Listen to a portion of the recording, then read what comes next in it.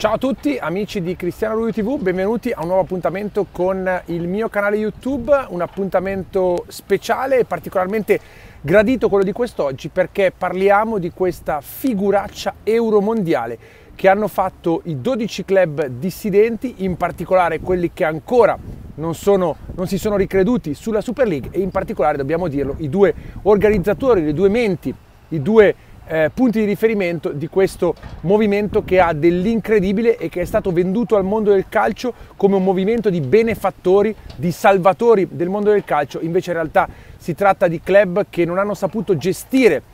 in maniera assoluta le loro enormi risorse finanziarie, anche quelle messe a disposizione da linee creditizie che i comuni mortali si sognano e adesso vogliono correre ripari sulla pelle dello sport più bello del mondo. Infatti il mio titolo figuraccia si riferisce proprio a quello che è successo negli ultimi giorni e devo dire con una battuta che per quanto riguarda il calcio italiano che è quello che sta facendo più fatica di tutti a uscire da questo equivoco gigante della Superlega, è quello che ha collezionato le figure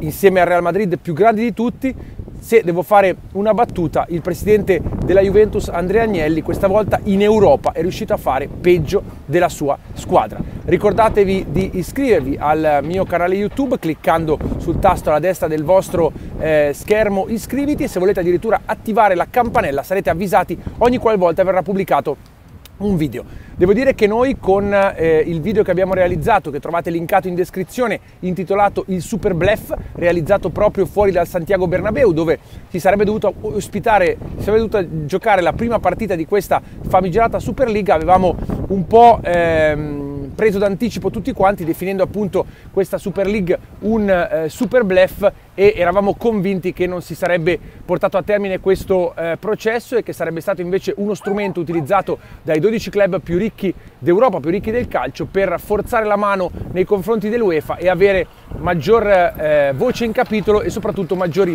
ricavi nella ripartizione dei diritti da sponsor e dei diritti televisivi. Sinceramente però nemmeno noi ci aspettavamo che il progetto franasse così rapidamente, è stato determinante l'intervento del primo ministro inglese eh, Johnson che ha eh, vietato in pratica o ha caldamente, vivamente consigliato ai club d'oltremanica di partecipare a questa Super League. Erano fondamentali perché 6 su 12 erano davvero eh, metà della, della, composizione di questa Super League e quindi pian piano si sono sfilati uno dopo l'altro anche sulla spinta dei tifosi eh, inglesi che eh, insomma da tanti anni riconosciamo tutti per la loro sportività, per la loro correttezza, ma in questo caso eh, sit-in di protesta, pullman bloccati, insomma manifestazioni abbastanza strong su chi voleva rovinare il loro sogno. Devo dire che la Superlega che si proponeva come, eh, come, ha detto anche Andrea Agnelli nell'intervista incauta, infausta, realizzata proprio pochi minuti prima eh, della fuga da parte di club inglesi,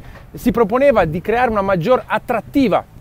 per il calcio nelle nuove generazioni. Ha avuto in pochissime ore l'effetto opposto di unire tutti i tifosi d'Europa, chi lo ha manifestato in maniera più chiara, chi invece in maniera più soft, eh, contro la Superlega. Quindi sicuramente ha ottenuto un effetto, quello di unire tutti contro la Superlega, tutti i tifosi anche da questo punto di vista sicuramente eh, gli esponenti dei governi che si sono espressi hanno tenuto conto della posizione della gente e, e quindi non a caso tutte le squadre inglesi in blocco sono uscite dalla Superlega. L'Atletico Madrid dalla Spagna fatto sapere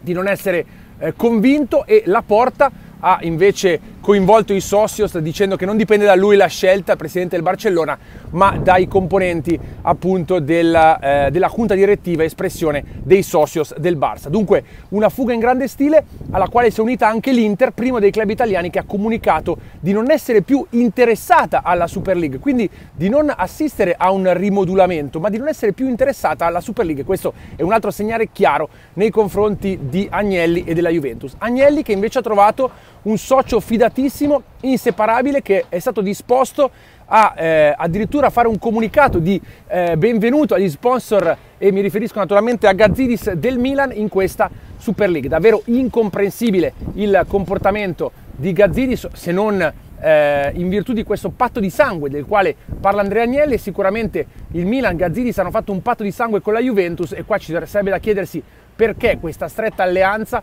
perché questo bisogno assoluto, disperato di avere i 350 milioni per risanare il bilancio. Gli altri club in nome della, eh, così, della, della storia del calcio e del futuro anche dell'effetto che ha avuto questa Super League eh, hanno deciso di soprassedere e invece il Milan è andato avanti con il comunicato di Gazzidis che addirittura ha eh, caldeggiato l'arrivo di nuovi sponsor per questa Super League e non contento il Milan è arrivato anche con il comunicato di Alexander Yukov, il nuovo potenziale proprietario, speriamo di no, che ha dato il benvenuto alla Super League proprio mezz'ora prima che si sciogliesse, o pochi minuti prima che si sciogliesse. Davvero un disastro su tutta la linea per Gazzidis e ancora una volta ci domandiamo che cosa aspetta l'amministratore delegato del Milan a dimettersi. Come lui, devo dire anche i rappresentanti dell'Inter e in particolar modo Andrea Agnelli che ha fatto una figuraccia europea, mondiale, colossale. Ciao a tutti da Cristiano Lui TV.